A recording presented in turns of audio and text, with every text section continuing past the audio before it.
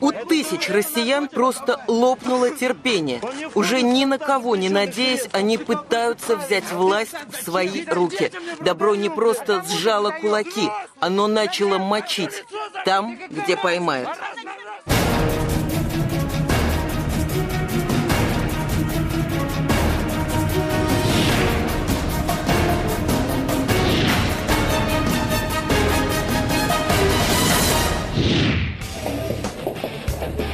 Молоток, краску и скотч эти молодые люди покупают здесь примерно два раза в неделю.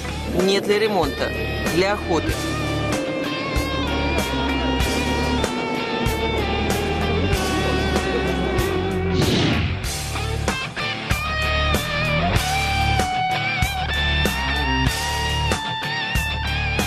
Эти ребята называют себя антинаркотический спецназ. Таким образом, вот уже два года они расправляются с продавцами курительных смесей, так называемых спайсов. А началось все вот с этого. Люди, покурив этой штуки, выходят в окна с девятого этажа. Это факт. Несколько дней назад человек в Ховрино а, значит, тоже накурился спайсом и покончил с собой от ужаса. Людей, которые реально там сходят от этого с ума, их десятки. У Евгения Насонова так погиб друг. Обращение в полицию ничего не дали. Закон не запрещает продажу спайсов. Дальше можно было молча злиться на жизнь, власти, страну дома на кухне. Евгений дома сидеть не стал. Здравствуйте, меня зовут Евгений Насонов. А я только что купил в аптеке по адресу улица Большая, почтовая 40, строение 1, препарат Залдиар без рецепта. Это запрещено. Пришлите, пожалуйста, наряд.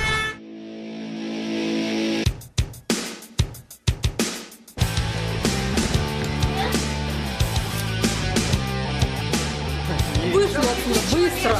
Съемку вперед! Нет, я не испытываю к ним жалости. Они что, не знали, на что они идут?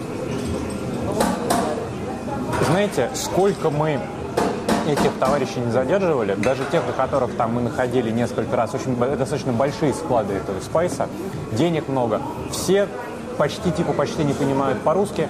Я первый день работы, я вообще ничего не знаю. На самом деле это не так. Я хочу, чтобы а, стрём, который мы на них напускаем, был бы сильнее, чем те деньги, которые они предлагают.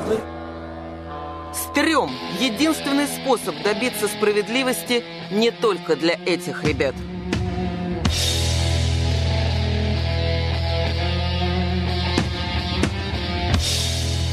Это подмосковная Ходькова. Сейчас здесь практически нет нелегальных мигрантов, но так было не всегда. А последней каплей для жителей поселка стала вот эта фотография Павла Капралова. Вернее, то, что теперь ее можно видеть не только в дружеских фотоальбомах, но и на кладбище.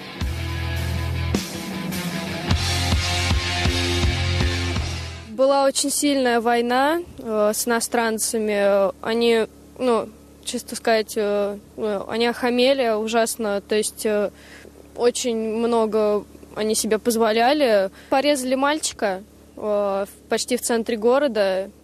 Теперь друзья Павла называют себя «белые совы». Так понимаю, что представляться вы не будете. Ну, вообще нежелательно. Лица под масками народные активисты скрывают потому, что их методы далеко не всегда укладываются в рамки Уголовного кодекса.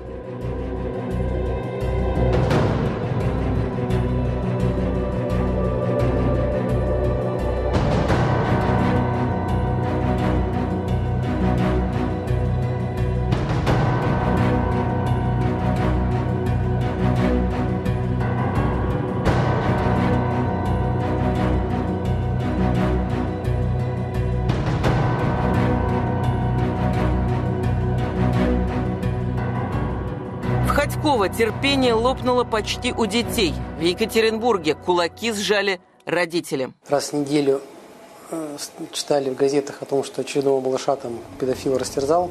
Э, В школах собирали э, родителей вместе с препод- преподавателями и обучали их, как группами ходить в школу, как группами перемещаться по Екатеринбургу, чтобы дойти, так сказать, здоровым, живым до дому.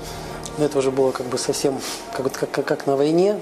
И поэтому э, мы решили попробовать что-то делать Родительский комитет Екатеринбурга и весьма известные в городе предприниматели назначили награду 100 тысяч за обнаруженного педофила и 500 тысяч за убитого. Обещанные деньги выдавались немедленно и наличными. Сам лозунг был такой опасный немножко, а само действие было совершенно правильно. Мы предложили 500 тысяч выделять э, тем, кто в состоянии эффекта педофила убил. Мы предлагали вот эти полмиллиона как раз вот таким семьям, таким родителям. Не как поощрение, а как э, средства, необходимые таким семьям на работу с адвокатами, на поддержание семьи, которая, собственно говоря, на два с половиной года там, или больше оставалась без кормильца.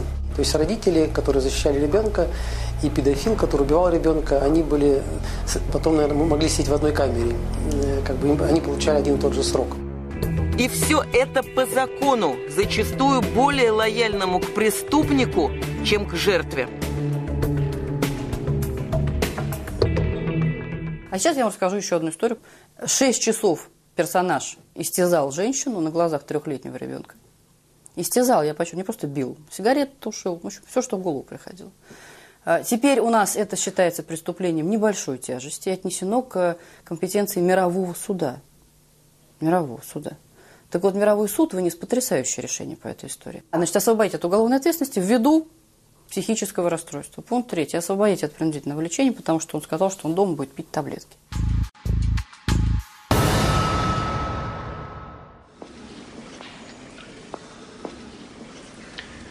Он, конечно, виноват.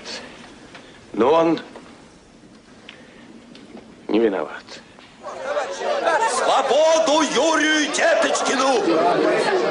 Юра! Адвокат Алан Шавлухов на всю жизнь запомнил вердикт по делу об умышленном убийстве.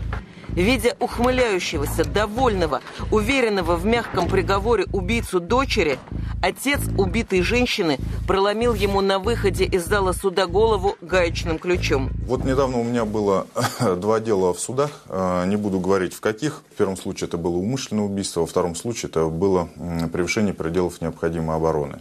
Вот то лицо, которое превысило пределы необходимой обороны, которое защищало, а, скажем так, собственную жизнь, оно по приговору суда получило а, срок больше, чем то лицо, которое совершило умышленное убийство. Оба решения были вынесены по закону. Как так может быть? Какая тут логика? Обыкновенным гражданам непонятно. Но есть те, кому существование этой серой зоны между законом и справедливостью не просто понятно, выгодно. Если вы сейчас разойдетесь и забудете об этом, да, то те, кто получают выгоду а, из этой ситуации, они будут продолжать получать. А мы будем опять иметь а, безобразие, которое творятся во всем ближнем Подмосковье, потому что ваш город не одинок. Такое на улицах Лосино-Петровского, городка в 40 километрах от Москвы, не редкость. Из 22 тысяч жителей города уже как минимум 9 тысяч мигранты. И детьми гулять негде. Что вы тут такое говорите, собственно говоря? Мы на день города даже на сюда не приходили, Правильно. потому что Я не про вас говорю. Я не говорю Одна чернота была. Да, да, постоянно говорят, мы скоро вас перережем. Да. Соседство оказалось отнюдь недобрым. Люди боятся выходить на улицу, представляться перед телекамерами. Не, я ничего теперь Всё, не буду говорить. всё. А то где-нибудь Вот, вот, вот, всё понятно. меня еще это самое, вон, Поэтому машины. вообще страшно жить. Вот, ну, честное слово. Они нам говорят, ты, бабуля, тут не ходи. Это наша территория. Она вот тут вот мне стояла, рассказывала и аж плакала и говорит, Ань, а где же тогда наша территория-то? По-настоящему рассерженные горожане создали в Лосино-Петровском движение «Мой город». Наводить порядок они решили своими силами, строго в рамках закона. И вот что из этого получилось. Все руки убери, документы предъявите.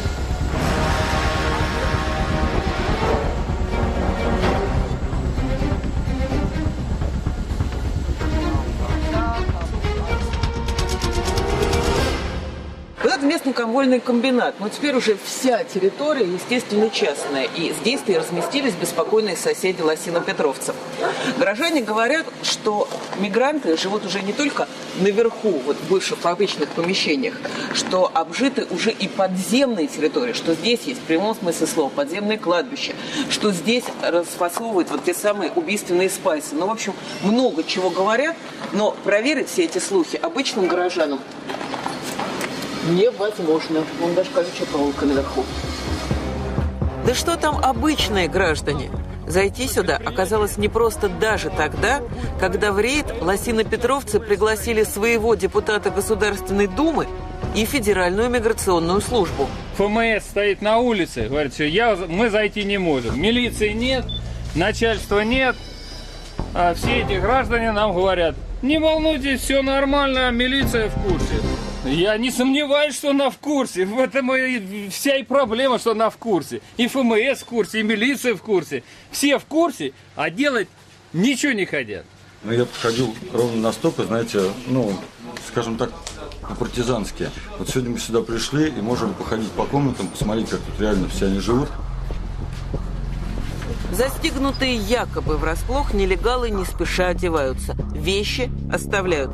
Они точно знают, через пару часов вернутся. Технология поведения во время плановой облавы отработана до мелочей. Вот оставленный на хозяйство бригадир. У него у единственного документы в порядке. Заученный текст. Нелегалов нет, документы остальных сейчас будут, отлетает как от зубов. Вот неторопливо появляется миграционная служба, а вот те, кто здесь действительно работает.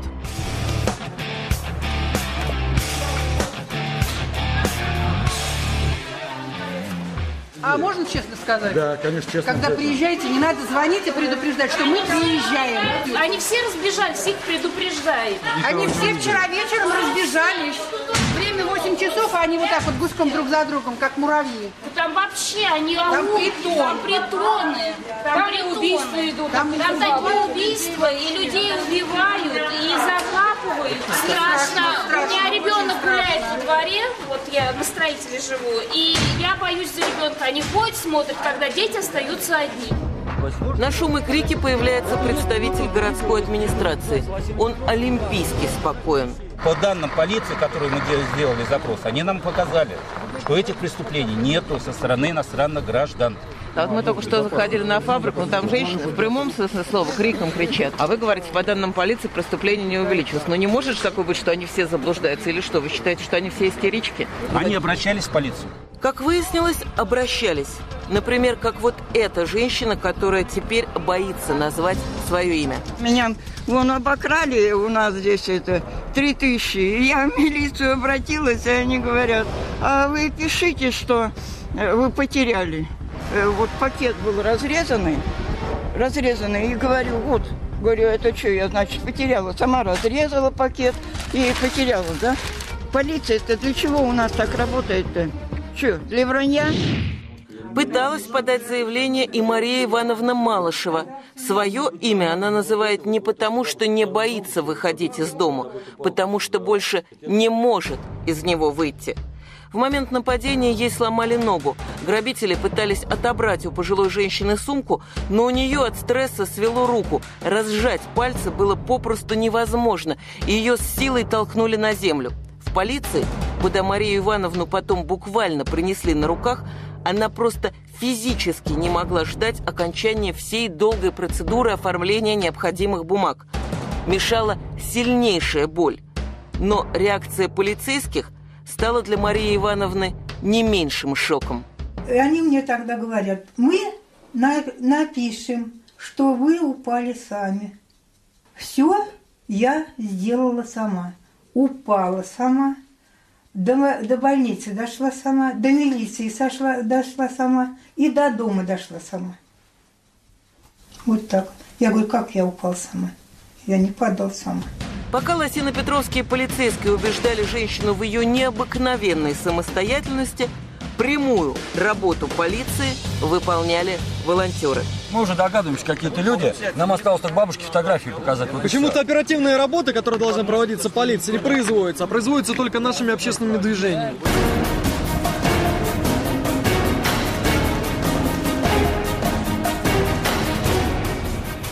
Что дальше, с чем мы вообще имеем дело – это действительно самый главный вопрос во всей этой истории добра с кулаками. Тот же антинаркотический спецназ, например, неоднократно в разных кабинетах задавал вопрос, почему так называемые спайсы не запрещаются. Ответа не последовало. Наш лидер выступал по проблеме спайсов. И вместе с ними сидели депутаты Госдумы, а, сотрудники госнаркоконтроля, а, представители Роспотребнадзора, представители Минздрава. И все просто кивали друг на друга. Пардон, переводили стрелки. И все возможно только по одной причине. Юристы, чиновники, а зачастую и законодатели попросту не желают уравнивать закон и справедливость. Хотя в случае с теми же курительными смесями для этого достаточно было бы ввести в закон одно понятие – аналог наркотика. Два слова могли бы сохранить тысячи жизней. Говорят, законы пишутся кровью. Но это отнюдь не кровь преступников. Все подзаконы, естественно, все согласуются не только... Ну, как минимум два согласования базовых. Это правительство Российской Федерации, то есть это Минюст. И это ГПУ, Главное правовое управление администрации президента. И вот когда мы начали несколько лет назад борьбу эту с педофилией, э, ужесточать законы, там, поднимать там ответственность, вот ГПУ с нами работал один конкретный персонаж, который всего-навсего референт, и который просто обхихикивал все эти законы. Он не просто их тормозил, он, их, он, он, он, он над ними стебался просто. Это хихиканье в конце концов прекратилось ценой тысяч исковерканных детских судеб.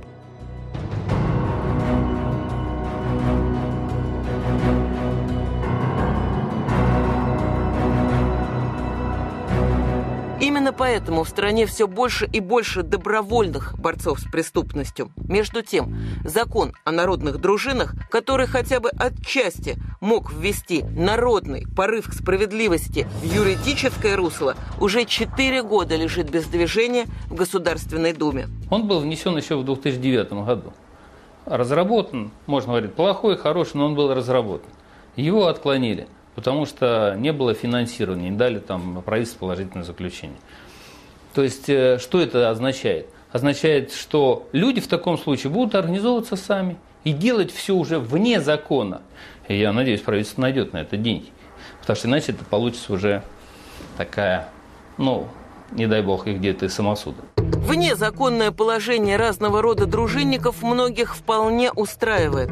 Как вам полицейские относятся? Ну, вообще в открытую, то есть мало кто говорит, что все хорошо, но так они нас поддерживают. С полицией мы сотрудничаем очень активно, и мы им помогаем. Э, очень часто мы выходим на наркоторговцев и помогаем им в поимке их. У нас, в принципе, подписано согла- рамочное соглашение с ФСХН э, вот, о сотрудничестве. То есть некое там, у нас есть некое там по- такое поощрение, да, да. А, дальше зависит от конкретных сотрудников, от конкретного ведомства. Понятно, что на камеру ни один человек там в погонах или человек, э, состоящий на госслужбе, не сможет сказать, я поддерживаю эти действия. У нас э, государство пытается спихнуть себя правоохранительную функцию на граждан. И э, удовлетворяется этим, пока до края не доходит, то есть пока они не убивают кого-нибудь.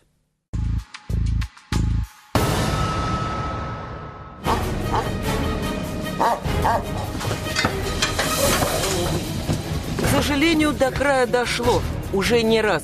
В том же городе без наркотиков, которому аплодировала общественность, нашли умершую при сомнительных обстоятельствах реабилитантку. А этот бывший реабилитант выжил, но хорошо прочувствовал силу кулаков добра. Выпил я немного. Там позвонили, приехали оттуда оперативные работники, как они себя считают, и забрали. Без всякого договора, заключения. Закрыли в карантин. Я же без согласия туда поехал. Потому что если я отказался, я бы инвалидом остался. Ну, я на карантине полежал с неделю. Потом выгнали на работу. Работал я там бесплатно.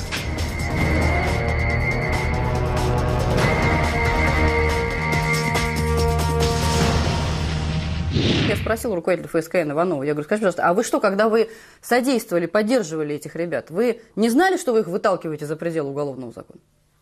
Вы не понимали, что когда-нибудь там умрет кто-нибудь из этих прикованных наручниками, и они сядут? Как вы могли вообще согласиться с таким видом сотрудничества? Почему вы не вызвали их, не сказали, ребята, окей, вы хотите бороться с наркоманией, мы тоже хотим бороться с наркоманией. Давайте продумаем, как это сделать так, чтобы это... Если не хватает законов, давайте их пролоббируем. Нет, зачем? Зачем? Есть какие-то, как, видимо, как они считают, пушечное мясо, которое готово вместо них выполнять эту работу. А в случае чего они их просто посадят. Вот здесь ведь есть и коррупционная составляющая. Когда они идут по этим наркопритонам или еще почему-то там если с одним милиционером можно и договориться за что-то там, за какой-то откат, то уже с теми или иными дружинниками, которые чаще всего разные, договориться уже нельзя.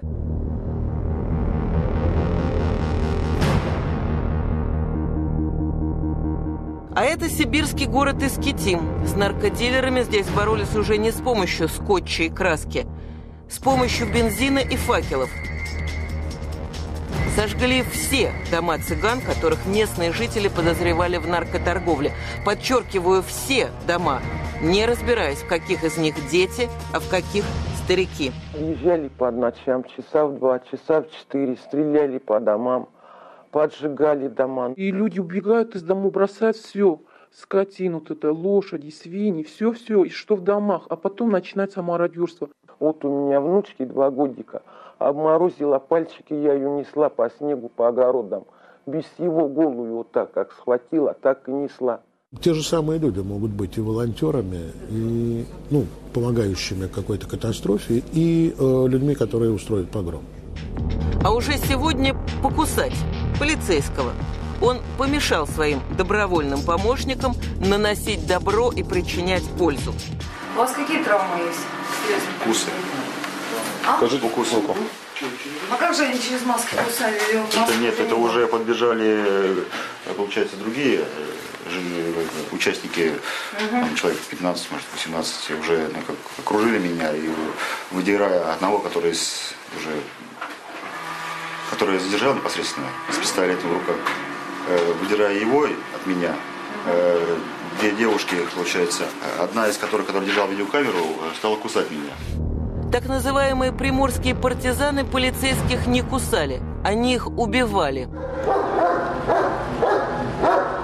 Он был зарезан ножом, двумя ножами. Также мы обстреляли патруль в, Яковском, в Яковлевском районе, ДПС. Там был ранен один легавый. Также мы сожгли отдел или Варфоломеевка и разграбили его. И убили в городе офицера ППС. За все хорошее против всего плохого. Под такими лозунгами на свои акции выходят очень разные волонтеры с очень и очень разными целями. Если человек начинает э, быть таким э, э, мстителем, ликвидатором зла, Рэмбо, Зорры и так далее, то как понять, исходя из каких, из каких мотивов и в соответствии с какими мерами общественного контроля этот человек или эта организация будет действовать сегодня или завтра. Ведь вполне возможно, что начиная с одних целей, завтра эти действия могут уже совершаться в соответствии с совершенно другими целями. Сама вот психологическая подоплека заключается в том, что они объединяются для, как, для, для какой-то цели. Цель может быть вброшена снаружи, то есть из общества, вот с наркотиками, там, с футбольным болением. Там, футбол это столько столетий, что он все это выдержит. А э, вот уже дальше, как она будет функционировать, кто придет к власти в этой иерархии? Рано или поздно среди волонтеров обязательно появляется кто-то, кто хочет не помочь государству, а заявить «государство – это я». Я вам больше хочу сказать, что если в ближайшее же время в эту ситуацию не вмешаться, причем не с целью погасить этих людей, заставить их вообще прекратить эту деятельность, а с целью ее систематизировать, Потому что действительно ни одна мировая практика не показывает, что какая бы у тебя ни была блестящая полиция, прокуратура, суд и следствие, если общественность не содействует, победить невозможно. А, а государство сейчас наше хочет, чтобы мы сами тут бились друг с другом. Но биться все равно нужно. Только не друг с другом, не с последствиями, а с причиной. С теми, кто не соблюдает действующие законы, с теми, из-за кого законы не действуют, с теми, из-за кого они и вовсе отсутствуют, теми, кто создает эту серую зону между юридическим и справедливым, потому что там, где не действует сила законов, действует только один закон – закон силы. Thank you.